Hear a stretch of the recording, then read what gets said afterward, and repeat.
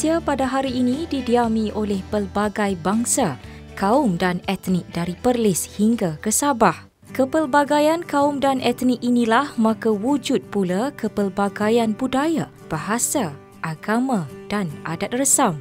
Kemasukan masyarakat Cina dan India ke tanah Melayu menunjukkan bermulanya proses pembentukan masyarakat majmuk. Ia sekaligus telah mengubah corak dan sistem sosial masyarakat Melayu ketika itu. Kapal dagang dari seberang, syarat muatan kayu jati. Dari jauh, tuan datang, orang Melaka sedia menanti. Itulah rangkap pantun yang bagaikan sudah sepati dengan pengunjung maupun pelancong yang sering berulang alik ke negeri yang cukup kaya dengan sejarah tersendiri. Melaka cukup terkenal dengan kesan peninggalan sejarah serta keunikan produk pelancongannya sehingga tidak putus menerima kunjungan pelancong dari dalam dan luar negara.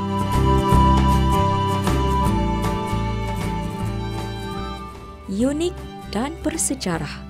Suasana dan kemeriahan yang dirasai saat berkunjung ke Jalan Hang Jebat ini cukup berbeza pada waktu siang dan malam. Lebih dikenali sebagai Jonker Walk, tempat ini pastinya popular di kalangan pengumpul barangan antik dari seluruh dunia dan sebagai salah satu tempat terbaik untuk mencari dan memilikinya. Pengunjung yang datang pastinya terpegun dengan artifak dan peninggalan yang tulen di mana ada antaranya wujud sejak 300 tahun dahulu. Namun kehadiran kru kami ke Jonker Walk ini bukanlah ingin mencari peninggalan sejarah ataupun merungkai misteri di sebaliknya tetapi budaya perniagaan kaum Cina yang sudah lama bertapak di sini. Keunikan itu menjadikan Jonker Walk antara lokasi yang harus dikunjungi apabila ke Melaka, Bandaraya Warisan Dunia yang diisytihar oleh UNESCO pada 7 Julai 2008. Pasar malamnya setiap Jumaat hingga Ahad dengan sekitar 300 peniaga menjadi tarikan pelancongan antarabangsa sejak dibuka pada 1990-an.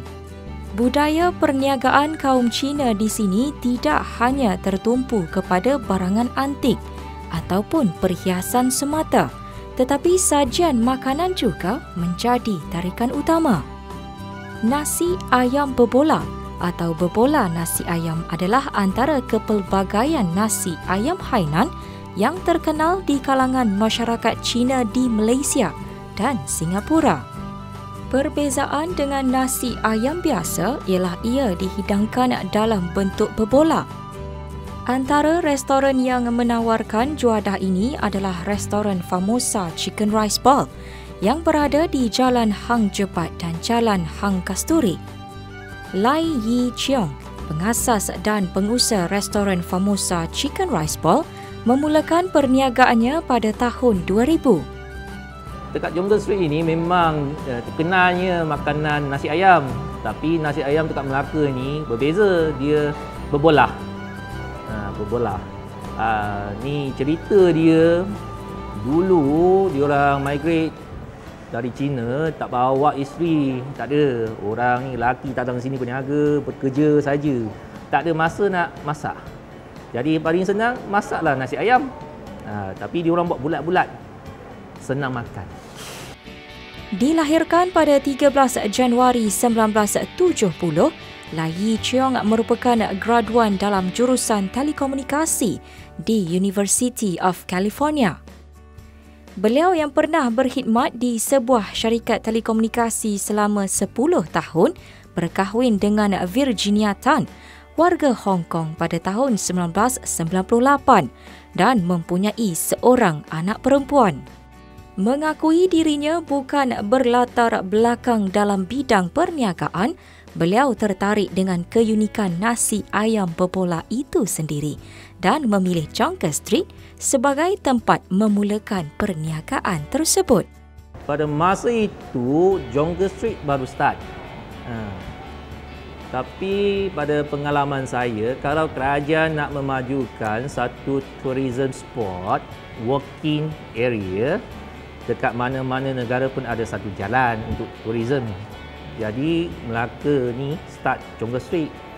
Jadi saya tahu memang ada potensi potensi baik. Jadi saya pilihlah dekat Jongle Street untuk start nasi ayam. Kebetulan lah 15 tahun tak nampak betul. Jangan kami pun tepat. Semakin ramai pelancong. Pada tahun 2008 bila Melaka dah jadi World Heritage. Pada masa itu pelancong ke Melaka bertambah lagi banyak. Raja Negeri Melaka pun banyak tolong. Ada banyak uh, attraction. Jadi semua orang tak datang sini. Jadi sekarang Jongle Street menjadi satu tempat you mesti datang. You have to come here. Sepanjang pengamatan kru kami, keunikan restoran ini terletak pada ciri-ciri dan struktur bangunan yang telah dibina sejak tahun 1911. Dibuka seawal jam 10 pagi, restoran ini memiliki kepanjangan sehingga 168 kaki Bukan sahaja menyediakan lebih daripada 30 menu, restoran ini seakan-akan sebuah museum dengan budaya kaum Cina. Jadi, restoran konsep saya bukan nak jual makanan. Selain kat makanan, kita value add tambah nilai. Kebudayaan, ada tempat ambil gambar, boleh nampak history. Masuk sini banyak cerita. Kenapa begitu panjang? kenapa merah? Kenapa ada dua tempat ni? Tengah-tengah bumbung belakang ada. Semua ada cerita dia. Kenapa ada dua pintu? Ni dia orang dari segi dulu orang master ni masuk. Pekerja masuk sebelah kanan. Ada dua pintu. Maintain lagi. Jadi tempat ni jual kebudayaan.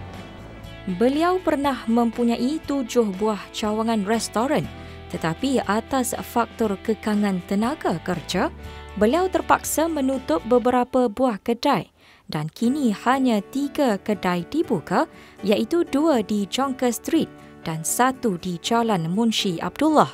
Dua tahun 2000, kedai yang pertama memang staff tak begitu banyak. Uh, itu dari segi makanan pun tak banyak pilihan nasi ayam saja. Tapi sekarang dah dah dah dah 5 tahun, Lanjung tak dari tempat-tempat lain. Tak boleh hanya ada satu chicken rice saja. You mesti ada tambahan. Uh, tambahan uh, lain-lain lah makanan untuk target diorang different market. Dulu nasi ayam aja, tapi sekarang sudah variety. Ada sayur, ada fish ball, ada ikan, ada tofu, dari segi ini restoran ni pekerja satu masalah. Orang tempatan tak nak kerja. Jadi ramai foreign worker kita kita uh, employed. Uh, jadi kita ni nak train orang. Kita tak simplify proses dia. Banyak sudah tukar. Dulu pakai tangan sekarang pakai mesin. Masak dengan mesin, rice bowl dengan mesin. Nak, nak panggang ayam pun mesin. Uh, ni nak replace lah kaki tangan tak cukup ni. Selain daripada mengusahakan perniagaan nasi ayam berbola, beliau turut membuka sate house yang menyediakan kepelbagaian hidangan sate. Uh, sekarang pun sudah cukup. Kalau boleh dekat Melaka saja saya nak kembangkan dekat kalau you pindah ke negeri lain, keunikan dia tak ada. Memang benda ni asal tadi Melaka. Asam pedas Melaka. Nasi ayam Melaka dekat Melaka ni lah. Mementingkan nilai tambah di dalam sesebuah perniagaan, beliau memberi kepercayaan kepada adiknya, Lai Fah Chiong untuk menguruskan restoran miliknya. Mula saya sama abang dia kerja di Kuala Lumpur. Kerja lima tahun ada sikit uh, boleh masaknya lah. Tapi mau mau bukan restoran ah, restoran susah. Orang pun mau banyak, hmm, semua sayur mau pilih kita baru ada lima tahunnya itu experience mana boleh dua minggu hari-hari masak nasi ayam tek tek tek sampai cukup praktis sampai ada boleh kita meniaga. Saya sini uh, 6 tahun David. Saya tukar order kalau apa buat dah pun tolong sampai angkat ini macam lah. Uh, bukan tentu outtake order ini macam. Dalam kesibukan dan kemeriahan malam, pintu gerbang yang tertulis Taman Warisan Dunia Jonker Walk menjadi tempat orang ramai berehat seketika.